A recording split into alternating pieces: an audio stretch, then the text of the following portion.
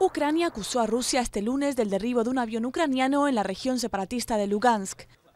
El gobierno informó en un comunicado que un potente misil lanzado probablemente desde territorio ruso impactó contra un avión de transporte militar que volaba a 6.500 metros de altura.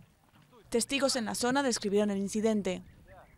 Hubo una gran explosión y el motor derecho del avión se incendió. Entonces salieron cinco o seis paracaídas. El avión estaba muy alto, así que no vi si eran hombres o equipo.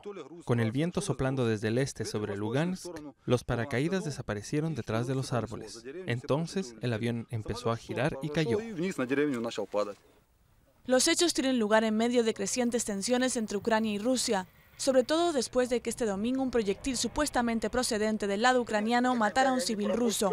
Rusia advirtió a Moscú que Kiev arriesga consecuencias irreversibles.